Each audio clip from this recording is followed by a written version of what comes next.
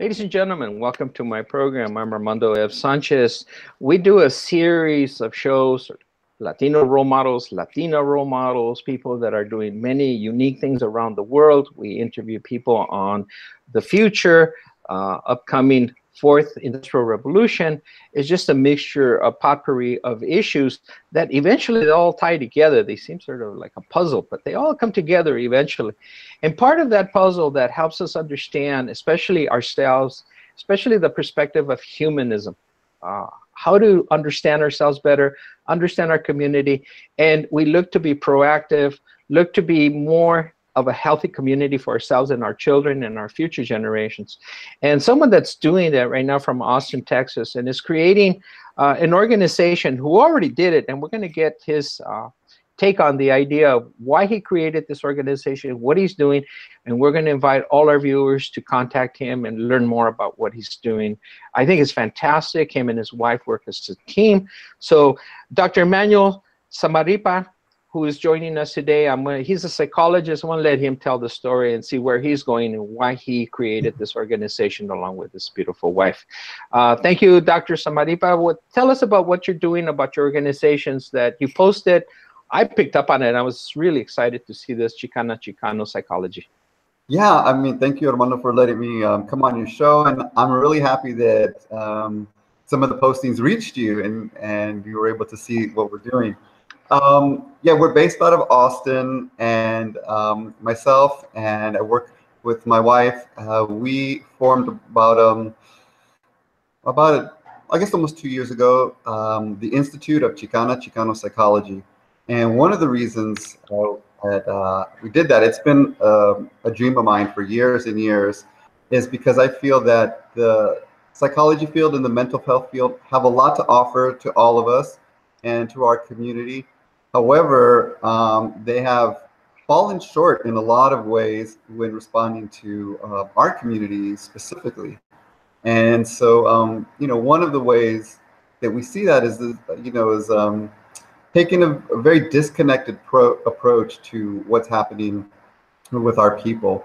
So, um, so what we're what we are trying to do is make the work that's being done by other Latino psychologists and other Chicano psychologists more applicable to the gente, to the people. And uh, so um, we do a lot of community workshops, and we can talk a little bit more about that, some of the topics, and just giving a little overview. And we also do training for other mental health professionals as well, and we do consultations uh, for organizations and agencies. Um, so we're based out of Austin, but we really do work uh, we've been invited other places. So, um, so that's the institute, and um, like a lot of things in our current society, the institute isn't a building; it's us and the work we do. So uh, it, it, makes us a lot more flexible and open to uh, responding to the people. Um, so. Yeah. You you you went to a wonderful organiz- uh, wonderful university, Notre Dame. Uh, so I guess you're a fighting Irish. You know, you don't look very Irish, but yeah, that's a whole different issue. But uh, you know, so so when you were in college, what inspired you to do this?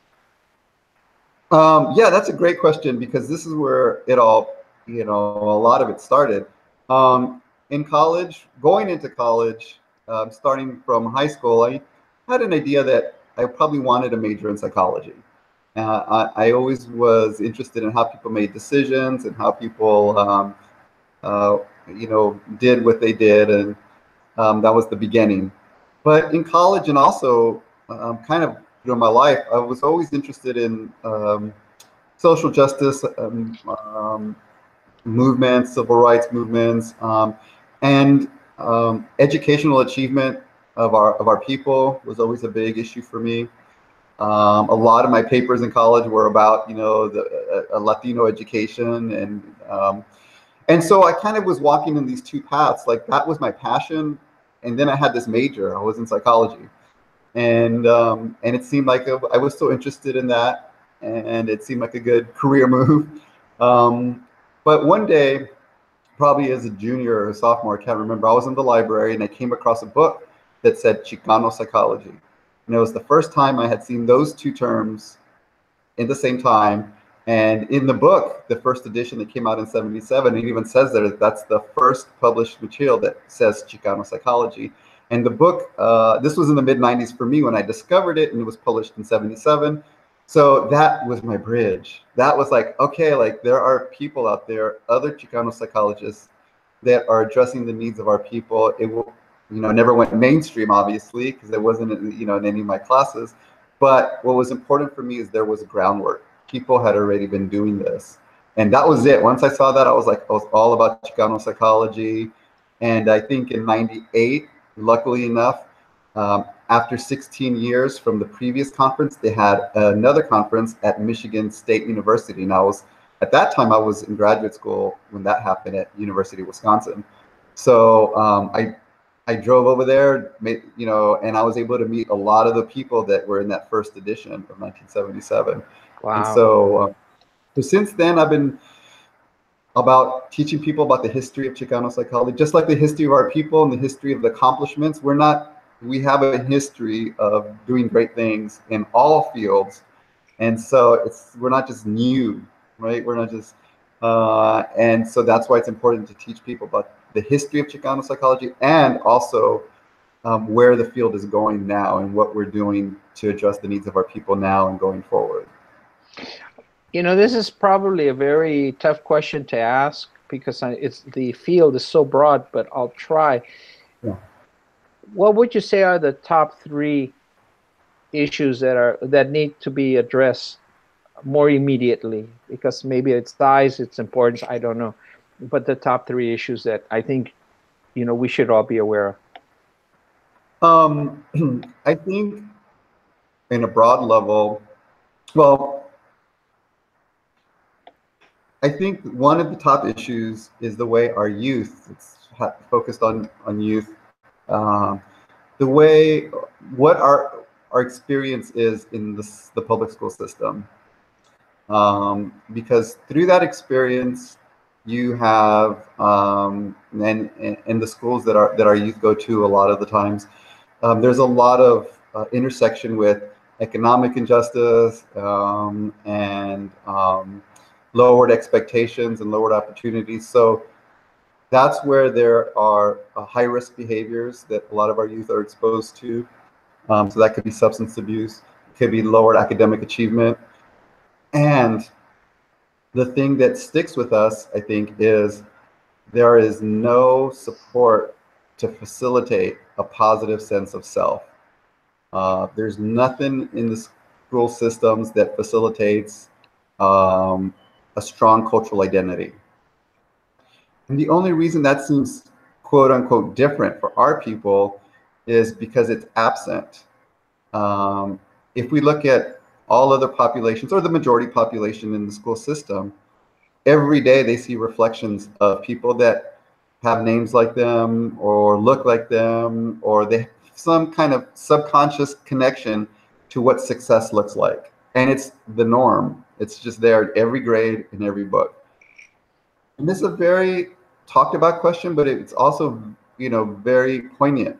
When you have a community that's being educated, you know, K through 12 through 16, and those images and those stories are not there that reflect people that they grow up with, um, it sends a very strong, silent, usually message. Uh, and so um, we need more explicit ways to promote a positive sense of cultural self and highlight the, the strengths that our families and our communities come with. Um, with that, a lot of the issues I think can you know it, uh, can be addressed. Um, Especially, so you know, if I, you know, when uh, you remind me now that California, uh, and I'm not sure of Texas, California's children in the public school system throughout the state, the majority is Latino, Latina. Right. So, what a critical issue this is. Absolutely. And and you know, um, you made me remember. I, I got a call from someone in New Zealand, in Australia, they were saying that they were having the similar problems with their indigenous group. So it's not, yes, it's Latino, but it also applies around the world where people of the minority is not seen or integrated into the majority, and this is causing a major conflict around the world. Yes, absolutely, especially when um, there's a history of marginalization. It becomes it becomes systemic. Once it becomes systemic, and by that I mean generation after generation, textbook after textbook, you know, um, things go on and on.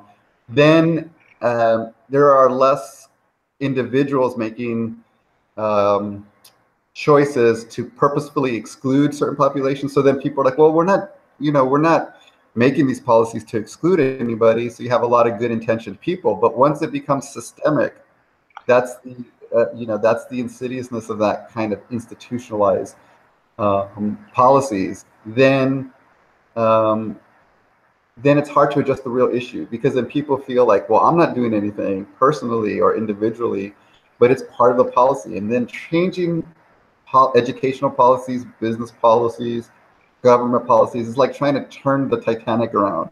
It's very difficult. you know, the weight is so tremendous, the inertia.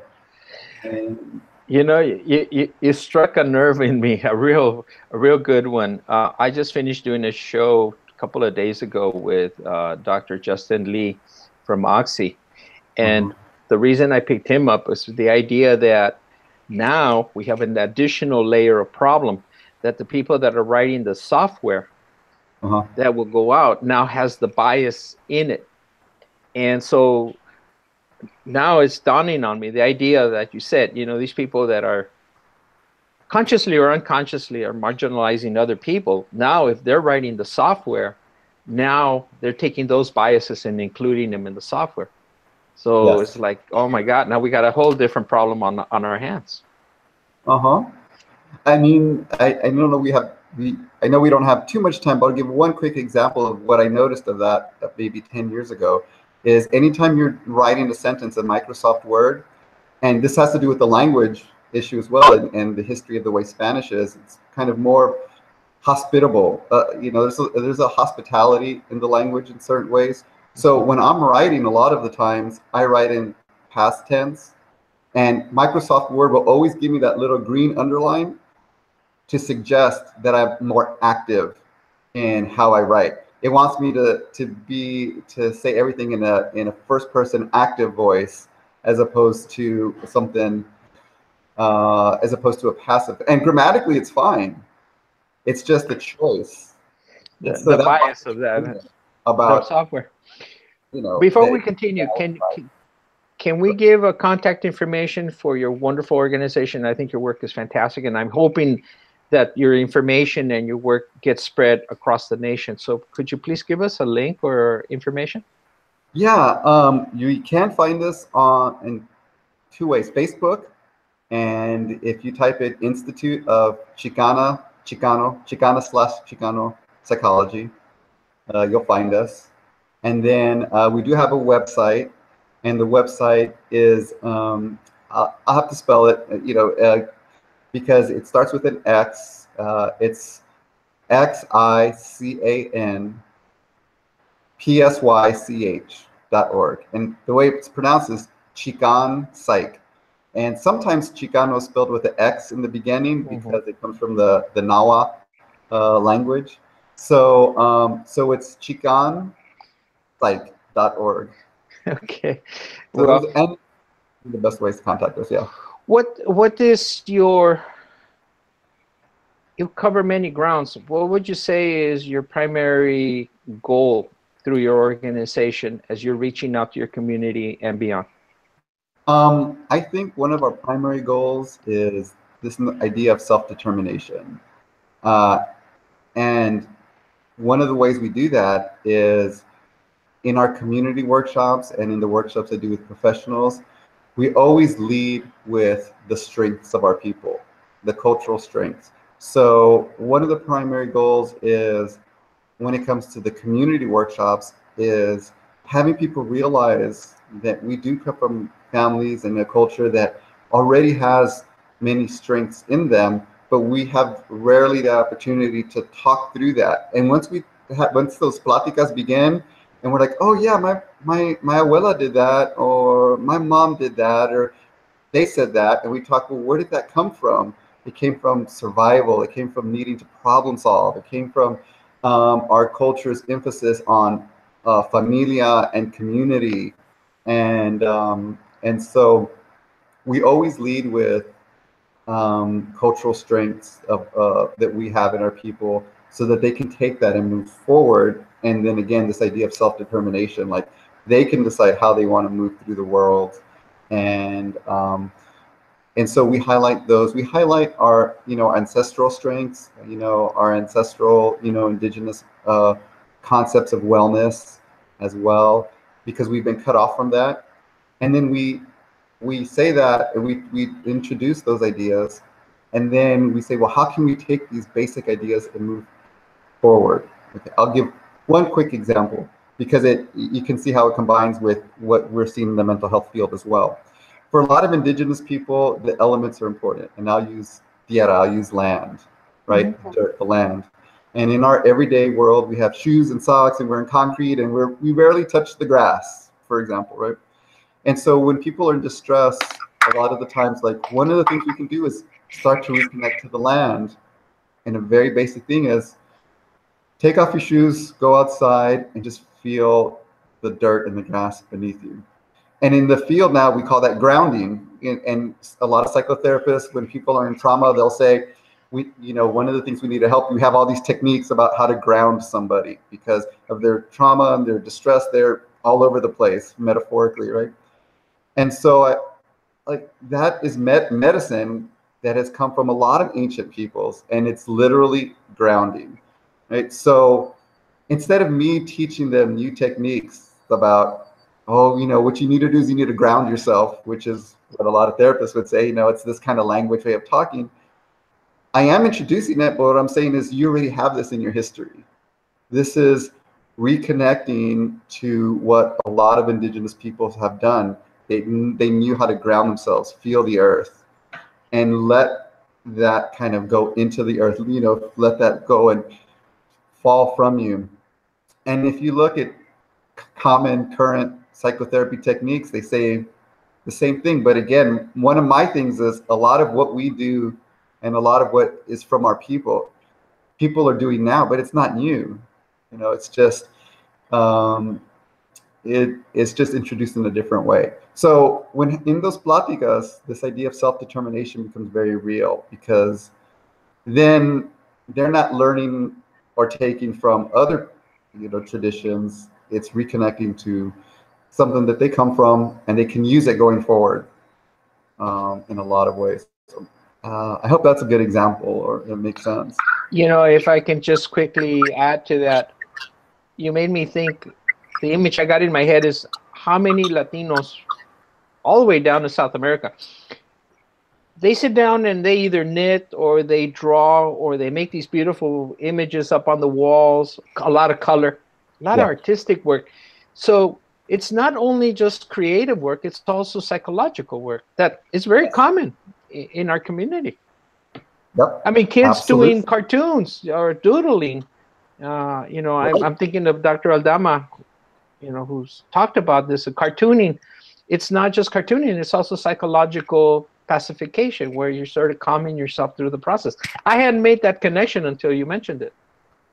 Yeah, and so that that's a, that's an example of what I what you know what one of the goals are is leading with our strengths, connecting in real examples what we mean by that, and then uh, then you know facilitating this self determination of our own needs and our own healing and our own progress moving forward. Because you know our communities continue to grow um, and we have a lot to offer ourselves and, and in our society.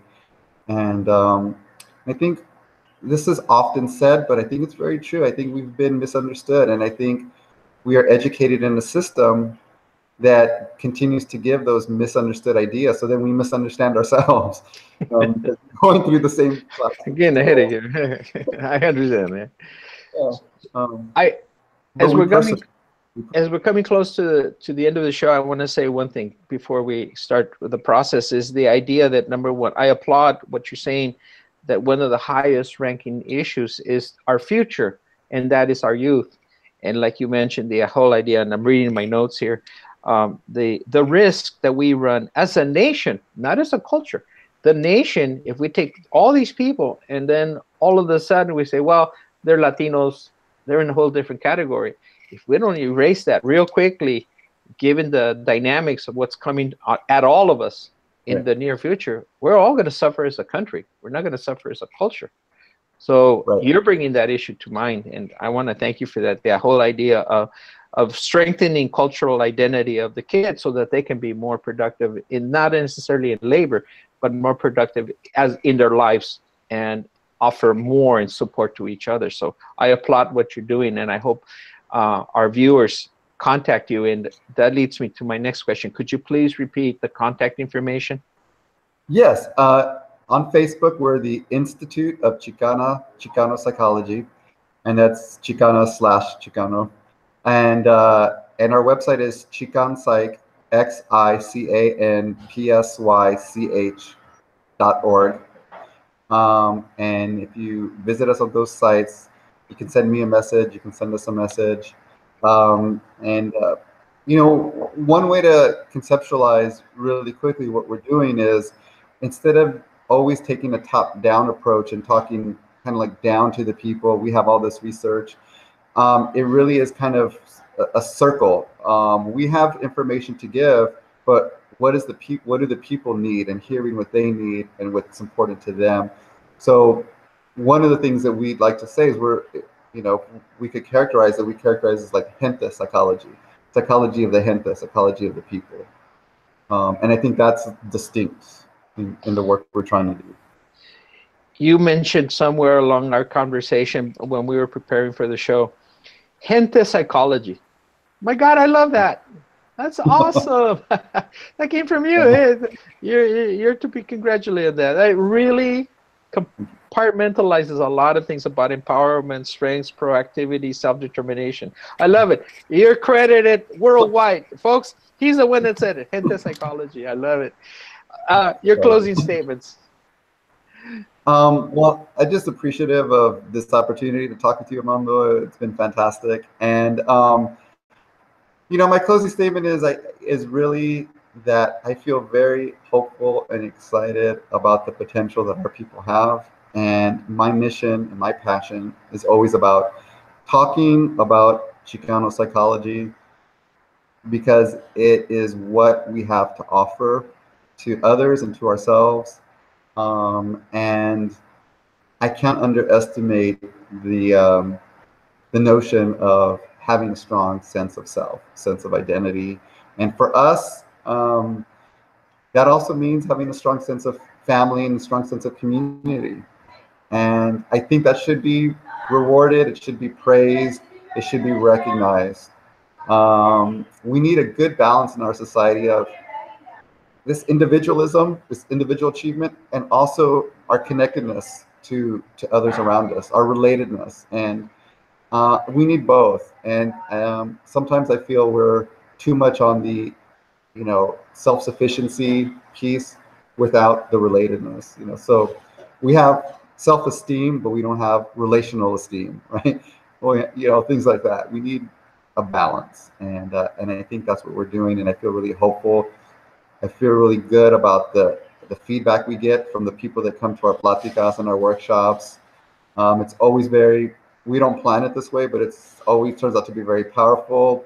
It gets very emotional sometimes, um, and you know, people say that this is this is what I've been looking for.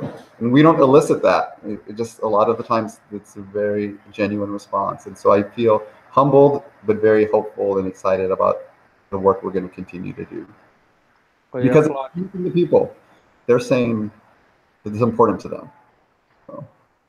I, uh, I applaud your work because, you know, I'm familiar a little bit with psychologists or the notion of psychology because of friends that I've had but you're very unique. I, I, what I find and when I'm listening and hearing, uh, and I hope you know, listening to the responses of the viewers, is that you're focusing on strengths.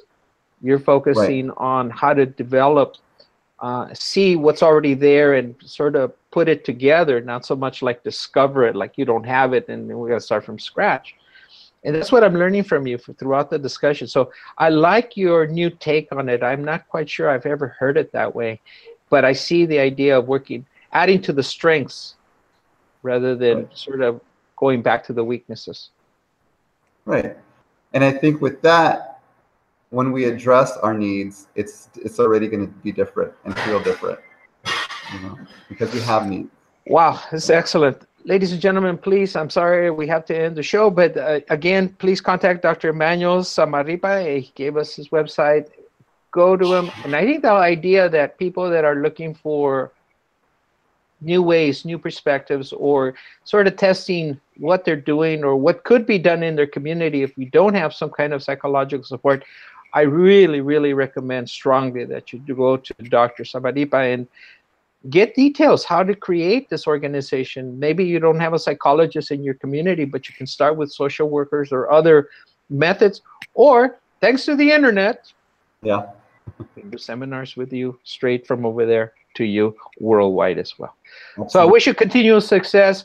Look forward to having you on future shows uh, i'm benefiting just a great deal myself and looking at my own strengths i've been looking well, what am i doing for familia and my gente so i applaud your work and i look forward to having you in future shows I would love it. Thanks a lot, Armando. Thank you so much. okay adios Yes.